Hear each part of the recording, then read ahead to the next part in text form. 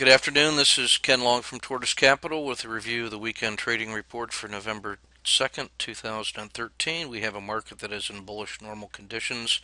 It's overbought on an annual basis with a score of 71 out of 100 on the uh, weekly RSI 14. The threshold is 70. On a 10-day basis, we're in the middle of neutral with a score of 63 out of 100 on the 10-day NDX. Looking at the market mosaic, uh, the price relative to the 200-day moving average is at yellow bullish at 9.18%, giving us about a 7% cushion to sideways channel. Uh, the slope of the 50-day moving average is green bullish has improved to 0.69%. ADX is now strongly uptrending at 28.8. The ATR percentage has dropped down to 0.78%. The risk index is the 30 period moving average of the VIX divided by the 10, which comes in at a score of 1.13, which puts us in risk on conditions. You can see a 90 uh, day uh, time series of the z score of that reading. The z score is when we take the 1.13 reading, look back 5,000 days, compute the z score, which right now is at uh, 1.58, where it's uh, stabilizing and starting to roll over here. Um, this has been a good swing trade in XIV. Uh, the last time it was at this level uh, featured an increase in volatility. So that swing trade may be over. Uh, but again, you can see the 90-day time series there. The blended monthly rebalancing this week, uh, you can see the new current holdings for the 13, 22, and 32 ETF portfolios uh, featuring U.S. technology, and then in the 13s it's Australian small caps.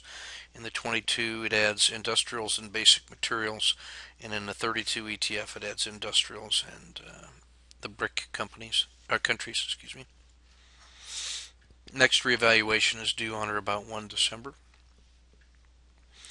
ETF2, the theoretical model is still at 100%. The model portfolio will be at 100% the solar ETF 10 TAN uh, was hit with its 10% trailing stop this week, and that money is now re- going to be uh, reprogrammed into China. The Golden Dragon Index uh, symbol PGJ.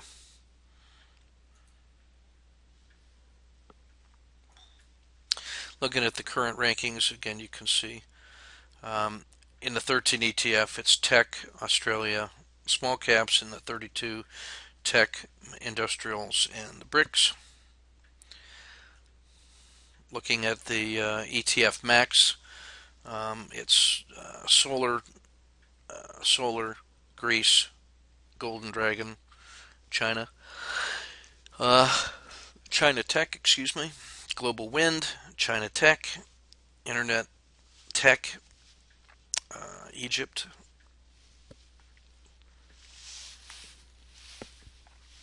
The ones that are interesting are those that are uh, green in the three month column, meaning they are exceptionally strong, um, and uh, white in the six month, meaning that the um, the performance is accelerating with respect to the rest of the market. And so the first one you see there is steel, and that would be consistent with the uh, increase in industrials and base materials. Uh, cocoa uh, more cocoa. So that's the top 50. Um, looking at the market health check here, um, we have uh, three regression channels drawn. The long term is the green, and that's uh, the center line is is the regression line, the 30 day or 90 day regression line, and the channel is the outer formed by the maximum excursion from the regression line during the look back period, which happened here uh, middle October. So we're in the upper, you know, fifth of the 90-day channel. Uh, the 30-day channel is also sloping up. That's the black line, uh, the black line channel. We're right at the 30-day channel, and then the 10-day uh, also uh, pointing up, but not as steeply as the 30. So we've had a little bit of pullback here these last three or four days, but we're right uh, clustered at the center line of the 10-day. Uh, the dragon, which is the 10 period Bollinger Band, plus or minus 0.5, is this red shaded area. That's providing support for this move up, and support is still holding at the dragon, so that's favorable. The dragon and support is outside of the river, which is the 30 period Bollinger Band, the dark shaded blue area. The lighter shaded blue area is the floodplain, which is the 30 period Bollinger Band plus or minus 2. Uh, and that is uh, right where price is at the, as you would expect, at the high end of a uh, of a bull market. The horizontal uh, red lines are support levels that have held in the past. Right now, I'm marking that at 174. Uh, so we're still uh, very bullish here. Um, could this have been an excessive move? Who knows? But uh, it is finding support where you would expect to find its support. I see this one at 173 as being really crucial uh, because that was that used to be resistance and now it could be support. So I would say um, violation of 173 would be uh, a real um, negative mark against this uh, against this. And then the next one would be 170, followed by about 168. You can see the 200 period moving average down here in the lightly shaded red. We've been leaving that behind.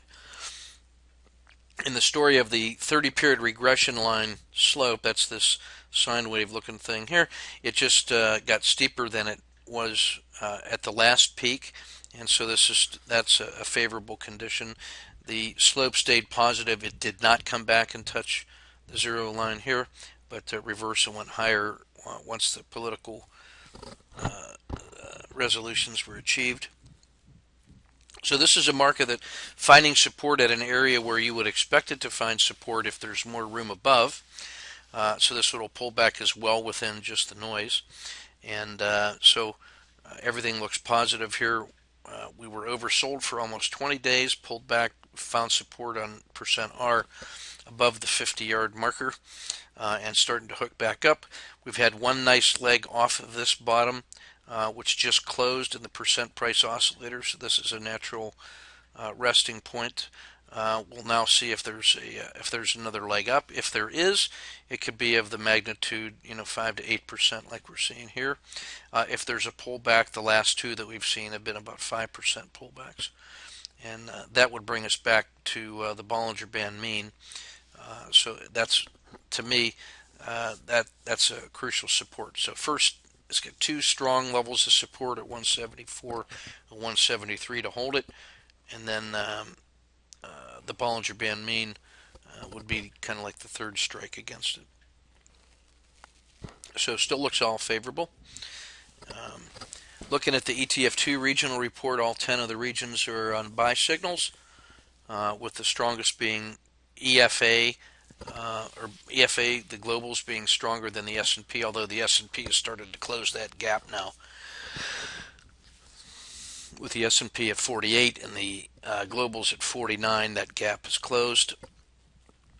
Uh, inside the U.S., it's uh, technology at 53, small caps at 50, mid caps at 48, and then large caps at 48, tiebreaker going to the mids. So this is still risk on inside the U.S as it starts to come back and close the gap on the globals. The two strongest sectors are IEV, the European 350 at 51, and the U.S. Tech at 53. And the two weakest remain uh, Latin America uh, at 45 and Japan at 42. Inside the U.S., sector spiders, uh, strength is in the industrials and materials um, and consumer discretionary. So that's, I would call that a, uh, a risk on uh, posture as well. In the world market model, um, everything in the U.S. is above average except the diamonds, and uh, the growth story is especially strong.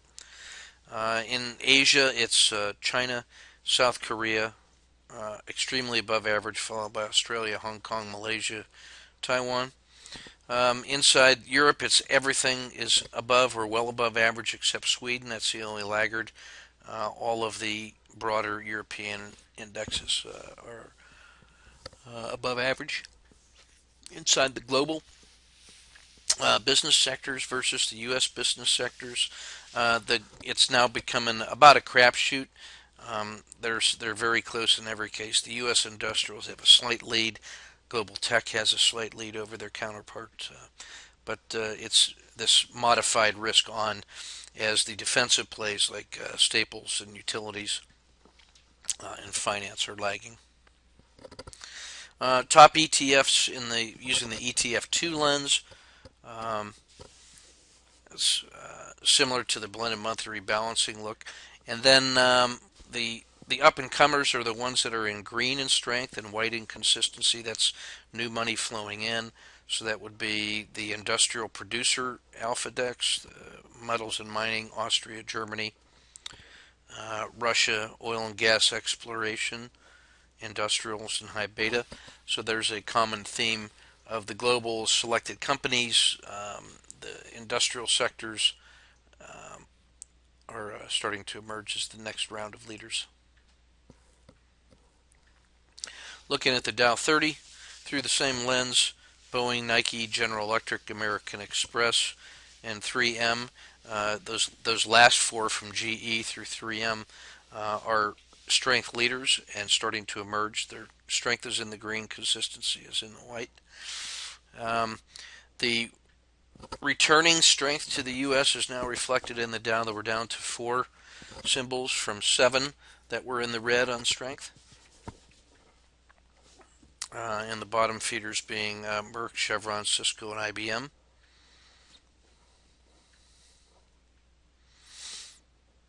Uh, Intel is one that we could look at as being relatively early in its um, it, with its emerging strength as it's white on strength and yellow on consistency.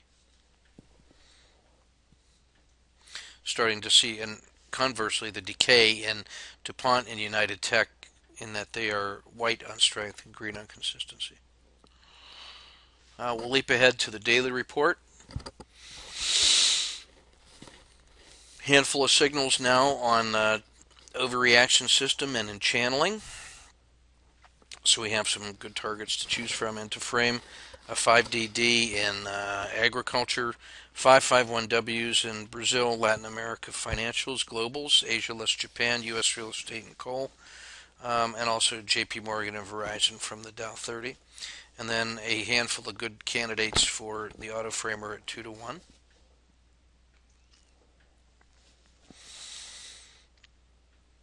Now Chevron should be of interest. It's a it comes in at four on the RSI two. It was a percent loser on Friday, um, and is number five on the max pain range compression. Uh, we've got Caterpillar, Merck, Morgan, and Travelers all testing out better than 2 to 1 on the auto framer, and then some 551s in uh, JP Morgan and in uh, Verizon.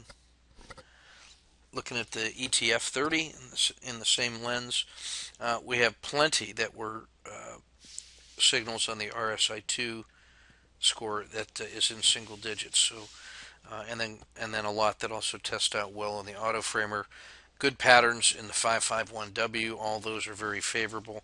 So something like Brazil should be of much interest to you. It's a 6 on RSI2. It was a percent loser on Friday. It was 2.1 uh, to 1 on the reward to risk.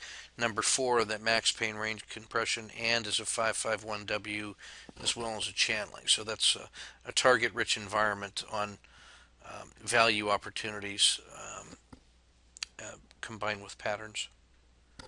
Uh, the auto framer for your for your use. You can see the stats as an example on Brazil. If you need the, the numbers to help you frame the trades.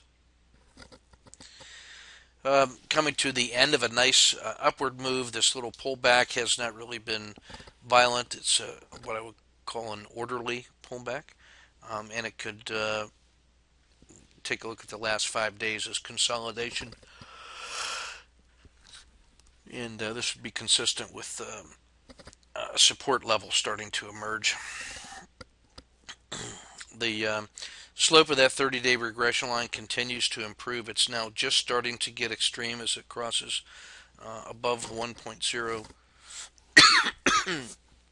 uh, on the z-score, and uh, price has stabilized at the six-month average with respect to the 200-day moving average this would be a nice place for it to continue to go.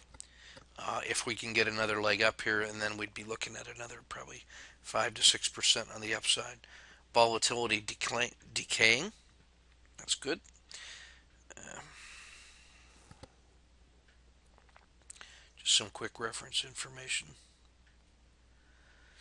Uh, looking at the z-scores of the regression lines, the 90 is still uh, slightly improving as we go. It's reversing this long decay from 1.5 z when it came back to the zero line, and it's now uh, up around 0.6 and getting better.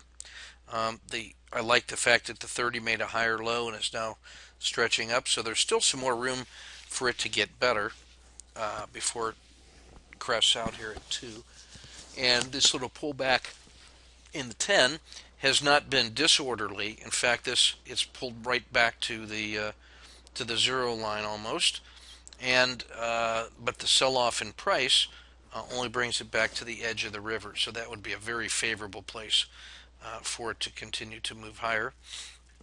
The last three times it did that, it, it hasn't really. It never really halted right at the edge of the river before the next move up. We saw it here and here and here, uh, it always came back and tested the downside of the river. But um, we can be hopeful. And that's everything I want to cover from uh, the weekend report review. This is uh, uh no news is good news, I would take this as. Um, there's uh, uh, a failure to fail at this price level. The market seems to be comfortable with the resolution of the politics and uh, and so we could be looking at another technical bounce here of uh, you know around five percent would not be out of line at all uh, in the next couple weeks. So uh, Ken Long from Tortoise Capital, keep your powder dry and your risk measured.